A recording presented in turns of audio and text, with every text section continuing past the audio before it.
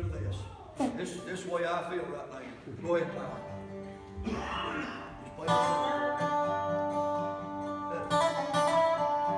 That's all we've got tonight. I'll tell you, that's enough. Go old rugged cross. Yeah. A lot of people's left the cross. Yes, sir. Thank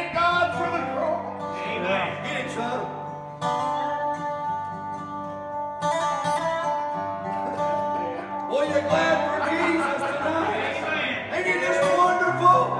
Ain't he marvelous? Yeah.